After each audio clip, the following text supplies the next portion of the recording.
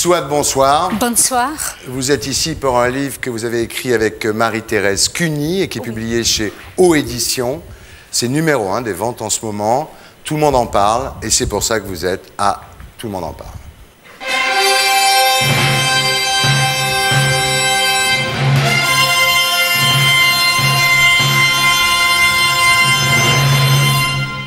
Alors Souad, euh, vous êtes masqué parce que vous portez encore les, les séquelles du drame dont vous avez été la, la, victime. Et parce que même si le drame qui vous a frappé s'est produit il y a une vingtaine d'années, euh, vous vous cachez toujours quelque part en Europe parce que vous avez peur d'être retrouvé par les gens qui ont essayé de vous tuer.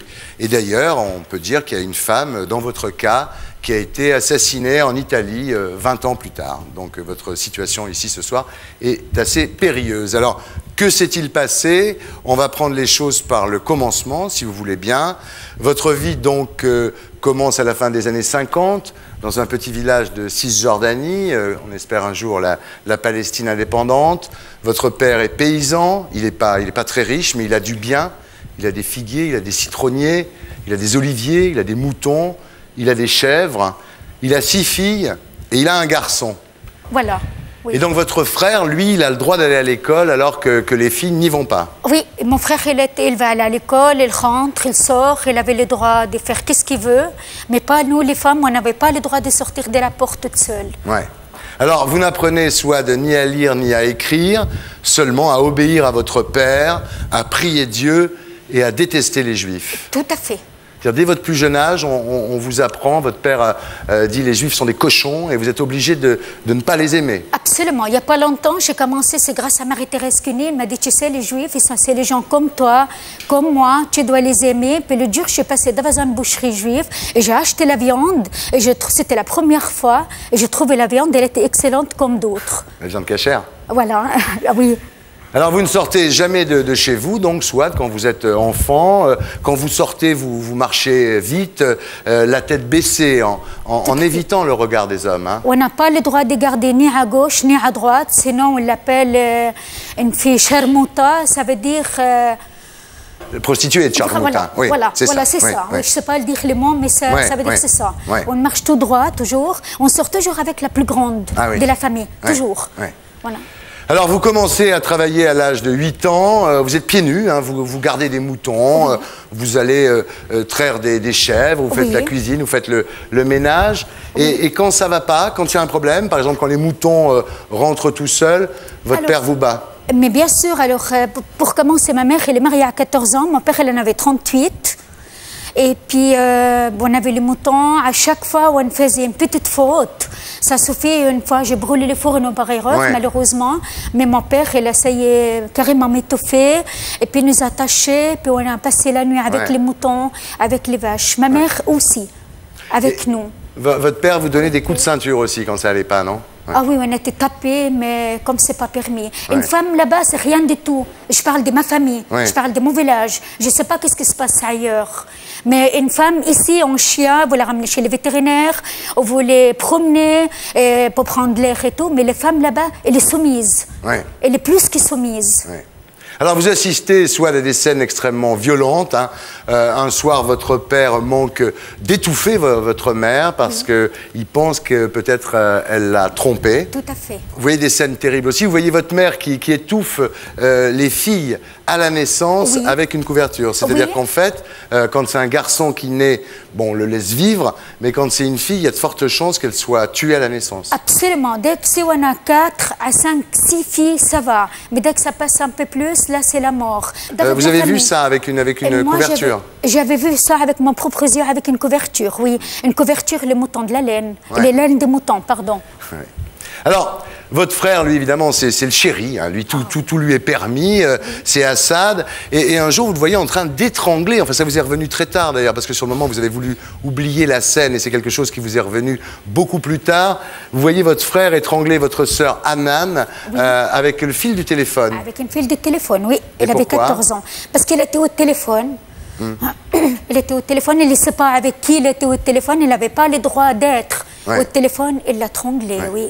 Alors vous ne voyez jamais la, la police, hein, euh, une femme qui disparaît, c'est pas un problème. C'est pas un problème parce que déjà une fille, je parle de toujours ma famille, on ne connaît pas déjà son corps. Hmm. On ne sait pas qu'est-ce que c'est que la police, on ne sait pas qu'est-ce que c'est qu'enfuir, on ne sait pas... Ouais.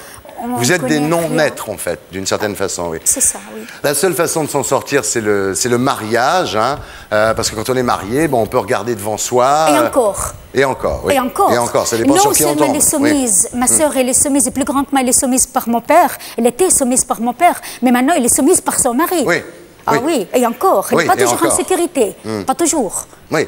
Alors celles qui tombent sur, sur des types plus sympas, disons qu'elles ont le droit de, de regarder de- devant elles, de faire des courses, de porter des bijoux, de s'épiler, enfin des choses de se Oui, maquiller, oui, mais des, des choses de filles, oui. Voilà, oui, normalement, on n'a pas le droit d'aller de, de- aller chez l'esthéticienne ou s'épiler, seulement le, le jour des mariages. Le, le problème pour vous marier, parce que vous avez vraiment envie de vous marier, c'est qu'il vous faut attendre que votre sœur aînée, euh, Kaina, soit, soit mariée. Oui. Euh, et elle n'est toujours pas mariée. Non, parce qu'elle était la pauvre, elle, avait, hum, elle était assez, assez forte, et puis elle n'était pas demandée au mariage. Ouais.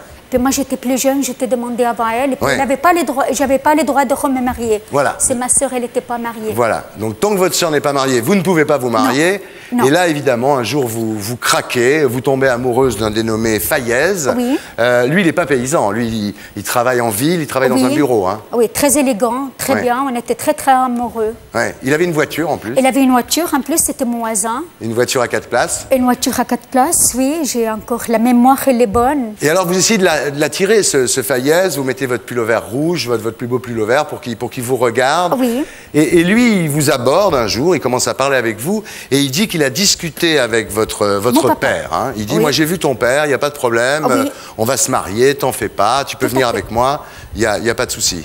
Oui, c'est juste. Il vous a raconté ça. Alors, premier baiser, évidemment, euh, ensuite vous faites l'amour pour, pour la première fois, Oui. Et puis vous vous retrouvez enceinte. Et je me suis trouvée enceinte, oui. Ouais. Puis je donnais rendez-vous avec mon ami, elle n'est pas venue. Oui, c'est-à-dire que au début, quand, quand- quand vous tombez enceinte, vous vous dites, euh, euh, il va revenir, on va se marier, ça va être formidable. espoir. Donc pendant plusieurs jours, vous, vous le guettez, vous êtes sur la terrasse de chez vous, vous, Mais vous- bien entendu. vous regardez s'il vient. Mais bien sûr. Il ne vient oui. pas. Non, elle n'est pas revenue. Ouais. Parce qu'elle avait peur, je ne sais pas pour quelle raison. Alors là, ben, il y a votre ventre qui, qui commence à, à grossir, Oui. euh, vous, vous vous acharnez sur votre ventre à, à coups de pierre, vous essayez de, Et le coup de pierre, oui, j'en ai perdre cet pris. enfant. ouais. Oui, j'en ai pris moi-même, les grosses pierres tapées sur mon ventre pour faire descendre les bébés. Parce que ma mère, elle est venue vers moi, puis elle m'a dit Toi, tu es enceinte. Hmm. Bien entendu, je n'arrivais pas à lui dire oui. Elle voyait les taches brunes sur le, le nez, les taches brunes sur le bout des seins. Ouais, Et puis, euh, bah, le bébés, ouais. il n'est pas, descendu, malheureusement. ouais. Le bébé est Et resté. le bébé, il est resté. Oui. Donc votre ventre grossit de, de- de plus en plus et en un plus. soir, euh, vous entendez euh, Hussein, euh, votre beau-frère, Oui. proposer à votre mère de, de vous tuer. Parce que mon papa et ma maman, ils ont proposé de me tuer carrément. Oui, j'ai attendu quand j'étais dans la pièce. Ouais. Et puis j'ai demandé à ma, à ma tante, la sœur de ma maman, elle va me protéger. Il faut, que tu m'aides. Elle m'a dit d'accord. Elle m'a donné la main, comme, elle comme je donne à une main à un enfant d'une année. Ouais.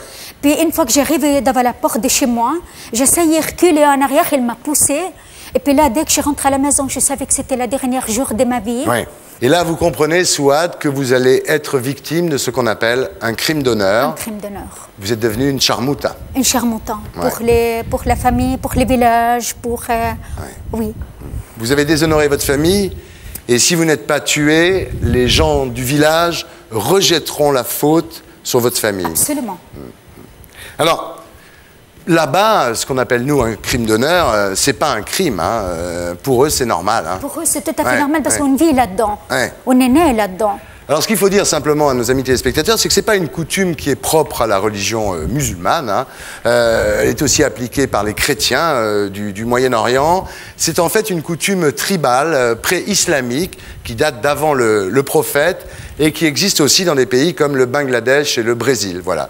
Alors, un matin, la maison est vide, vos parents sont partis? Ah oui. Ils sont, ils sont deux quittés le village. Ouais. Et vous, vous êtes euh, accroupi dans la cour en train de, en train de faire la lessive? Et je rentre faire la lessive. Alors, mon papa et ma maman, ils sont partis. Puis, je rentre faire la lessive. Puis, a mon beau-frère, il est arrivé. Puis, il me fait, tu sais, je vais t'aider. Et Ouais. moi, je l'ai cru. J'ai dit d'accord. Quand il vous dit je vais m'occuper de toi, il plaisante un peu, il est sympathique. Il était très sympathique. Ça vous rassure, oui. Ah, J'étais assurée, ben, j'étais très jeune. Je dis, ah, ben, c'est gentil, il va m'aider. Et puis tout ce que je sentais, il avait mes naissances sur les cheveux. Oui, vous sentez un liquide froid voilà, sur la tête je sentais le liquide froid sur la tête. Et je sais pas, c'est avec une braise, avec une allumette, et je sais pas. Tout ce que je sais, que j'avais le feu sur ma tête. Je commençais à courir dans les jardins en tapant mes mains sur mes cheveux. Hum. Et puis euh, je sentais les bébés, ils bougent à l'intérieur de mon ventre. Et puis c'est là les voisins, ils ont éteint les feux avec l'eau, les Oui, couvertures. que vous sautez un petit muret, vous vous Oui. retrouvez dans la rue. Oui, tout à Et puis il y a- fait. deux Oui. voisines qui vous emmènent à, à la fontaine et qui essayent, Absolument. Qui Oui. essayent d'éteindre le feu. Le feu. Parce que Oui. vous êtes en feu à ce moment-là. Oui, j'étais en feu ce Complètement. moment-là. Ouais. Complètement, j'étais brûlée au troisième degré. Vous voulez mourir à ce moment-là. Et ce moment-là, je voulais mourir, oui. Alors vous vous réveillez à l'hôpital. Euh, on vous enlève votre enfant qui était né euh, miraculeusement dans un état de, de demi-conscience. Et, et on vous soigne à peine en fait. Euh, le- les médecins ne s'occupent pas tellement de vous. On pense que vous allez mourir. Très très mal, elle me prenait par les cheveux, elle me mettait dans la baignoire pour me les laver, elle me soulevait par les cheveux. Elle me soignait très très mal. Donc vous êtes brûlé au troisième degré, Oui. vous avez eu le, le menton là qui, s'est collé à, à la poitrine, Oui, toutes ces chairs trois sont, mois, oui. sont brûlées. Oui. Et alors là, votre mère vient vous voir. Euh, quand vous voyez arriver votre mère ce jour-là à l'hôpital, vous pensez qu'elle vient vous aider? Alors c'était loin de là. Je dis ça y est, elle vient me parler, ou bien, je sais pas, elle est venue là, puis je n'ai pas vu les verres tout de suite de la main. Hmm. Parce que j'arrivais pas à tourner la tête, ni à gauche, ni à droite, j'étais collée. Ouais. Et puis c'est là, il m'a dit, tiens, tu veux boire ça, comme ça, ton frère, il va pas avoir les dangers. Hmm. Et j'étais prête à boire cette verre de poison pour pas que mon frère il, ait- il aura de mal. Ouais. Ben, c'était la seule garçon de la famille. Ouais. Alors pour nous, c'était quelque chose. Et pourquoi vous l'avez pas bu ce verre de poison? Alors c'est grâce à mon médecin. Elle est rentrée au bon moment, c'est le message de bon Dieu. Cette médecin, il est venu et puis il a pris les verres de poison et je n'ai plus vu ma mère. Ouais. Donc vous restez dans cet hôpital Oui. et la chance pour vous, Souad, s'appelle Jacqueline Thibault. Tout à fait. Elle travaille pour la Croix-Rouge dans Oui. l'humanitaire au, au Moyen-Orient. Oui. Et elle se met en tête de vous sauver, de Absolument. vous arracher à votre sort. Tout à fait. Elle est venue vers moi. Ouais. Et puis elle me fait, je vais t'aider. Puis elle m'a mis la main sur le genou. Et je l'ai regardé, j'ai dit d'accord. Et grâce à Jacqueline Thébault, et grâce à une fondation en Suisse, je suis vivante aujourd'hui, mon fils et moi. Alors, à ce moment-là, euh, Jacqueline va voir vos parents parce que pour vous sortir du pays, euh, il y a besoin d'une autorisation de, vos parents. Elle va les voir, elle leur dit, de toute façon, puisqu'elle est condamnée, vu qu'elle va mourir, autant qu'elle aille mourir ailleurs. Et grâce à ce, à ce stratagème, finalement, elle arrive à vous arracher à, à cet hôpital. Euh, elle vous emmène d'abord à Bethléem et, et ensuite en, en Europe. Absolument. Et elle sauve aussi Marwan, Ah oui. votre enfant. Mon fils, oui, il a 25 ans maintenant. Ouais. Vous arrivez en Suisse, les opérations commencent, vous avez 24 opérations. J'ai eu 27 opérations. Hmm. J'ai resté 9 mois à l'hôpital en Suisse. 27 opérations, les greffes, euh, opérations, cette opération. Mais 27 opérations, mais j'étais très contente parce que j'étais bien soignée. Ouais. Les gens, ils étaient très gentils avec moi, docteur, l'infirmière. Ouais. J'étais très contente. Mais les blessures les plus graves sont évidemment à l'intérieur. Vous avez beaucoup de mal à, à vous reconstruire, euh, Absolument. évidemment, suite à, Oui. à ce drame. Oui. Vous êtes incapable d'élever votre fils euh, Marwan Non. et vous le confiez à une famille d'accueil pour qu'il soit élevé normalement, dirons-nous. Tout à fait, oui, parce que je ne pouvais pas, j'avais pas de la force de m'occuper de lui. Et puis là, je, me- je l'ai adopté à cette famille d'accueil. Et puis en 20 ans, on se veut trois fois. Alors à un moment, vous rencontrez un autre homme euh, qui s'appelle Antonio. Oui, Euh, lui veut pas se marier, vous voulez vous marier, Oui. vous finissez par l'épouser. absolument. Et c'est assez beau, vous avez deux petites filles, Laetitia et Nadia. filles. Oui, 14 Avec et 15 Antonio. ans. Oui, avec Antonio. Mais la dépression vous guette quand même, euh, vous êtes très complexé par, par les cicatrices qui couvrent Oui. euh, votre corps. Euh, vous n'osez pas vous mettre euh, en maillot de bain. Bien sûr que non. Ouais. Ni un manche nou, ni un manche court, ni un décolleté, ni un jupe légère. Je peux pas aller à la piscine. Et ça, c'est assez pénible. Ouais. Je dois pas dire que c'est toujours gay. Et un jour, vous faites soit d'une tentative de suicide, vous n'en pouvez plus. Oui, j'ai essayé de me suicider et puis euh, j'ai dit non, je n'ai pas le droit parce qu'il y, a- il y a mes filles là. Ils ont besoin de moi. Ouais. Oui, je voulais me suicider parce qu'à un moment donné, c'était très lourd. Ouais. Encore maintenant, parfois, c'est très très lourd. J'imagine. Donc là, vous subissez une thérapie euh, pour, pour vous en sortir Oui. euh, psychologiquement, Oui, dirons-nous. Mais vous souffrez toujours, évidemment, c'est normal, d'angoisse terrible. C'est-à-dire Oui. que, par exemple, si vous voyez une bougie, vous pouvez pas. Ah oui, impossible. Je ne peux pas allumer une bougie, je peux pas allumer. J'ai eu l'occasion, euh, j'ai acheté une maison, je voulais mettre les plaques euh, au gaz, mais je n'ai pas voulu. Hmm. J'ai dit à mon mari, je ne veux pas. Mais impossible de toucher un briquet dans la main. Ouais. Je n'arrive pas. Ouais. Mais mes filles non plus, je ne veux pas. C'est plus fort que moi, je Hmm. n'arrive pas. Alors aujourd'hui, bah, je dirais ça va pas mal, quoi. Votre famille est réunie, vous avez retrouvé euh, Marwan, qui finalement est venu habiter avec vous. Euh, vous avez donc trois enfants. Oui. Euh, vous avez un métier, vous êtes secrétaire, hein, vous travaillez, vous gagnez, travaille, oui. gagnez votre vie. Et vous décidez à ce moment-là de témoigner pour que toutes les victimes des, des crimes d'honneur soient reconnues et que les gens qui commettent ces crimes d'honneur ne soient plus des, des héros, mais ce qui sont vraiment des assassins.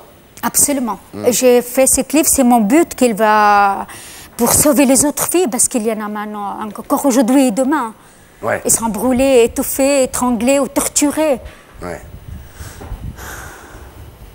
La mort n'a pas voulu de vous. Deux fois de suite. C'est un signe. C'est. C'est pour ça que vous êtes là. C'est pour ça que je suis là. Ouais. Vous diriez quoi, euh, Souad, euh, à votre mère si elle était en face de vous, là, maintenant? Euh, vous savez, autrefois j'ai haï, c'est ma mère, mais finalement maintenant je dis mais c'est pas sa faute. Parce qu'elle était soumise par Hmm. Ouais, mon père. ouais. Euh, elle était soumise par mon frère. L'homme, il fait les rois. Encore une fois, j'arrête jamais de le dire. Puis quand je parle de l'homme, je suis ravagée. Je suis ravagée parce qu'il n'a pas les droits. Pourquoi lui, il a le droit de tout faire? S'habiller, s'amuser, sortir, rentrer. Mais pourquoi pas nous les femmes? C'est pas la faute de ma mère. Bah si, actuellement, j'étais en Cisjordanie, je ferais la même chose que ma mère, elle l'a fait. Ouais. Parce qu'on est né là-dedans. Ouais. C'est tout à fait normal. Alors maintenant, je vais absolument... Je ne veux pas dire pardon à ma mère. Ça, c'est clair. Mais c'est pas sa faute non plus. C'est pas non plus la faute de votre père, parce que lui aussi, il a été élevé là-dedans. Euh, je dois dire c'est la faute de l'homme. J'arrête pas de le dire. Aujourd'hui, demain, jusqu'à la fin de ma vie, c'est la faute de l'homme. J'aimerais bien c'est changer l'homme. C'est l'homme, mais il faut le changer, pas la femme. Parce que la femme, la pauvre, tu l'as dit, tu t'essayes, si tu bouges pas, vous pouvez être sûr, elle bouge pas. C'est l'homme, mais il faut le changer, pas la femme. Mais faut, il faut changer. Il faut changer tout ça. Bah, vous, vous y participez en étant là J'y ce soir. participe. Ouais. Et je suis prête à aller dans le monde entier, témoigner pour qu'on change, pour sauver les autres filles. Bravo, merci. Swad, ça s'appelle Brûler vive et c'est chez O Édition, mesdames, messieurs. Merci Swad, bravo. Et pour être sûr de ne rien rater de Inalarditube, abonnez-vous et mettez un pouce bleu.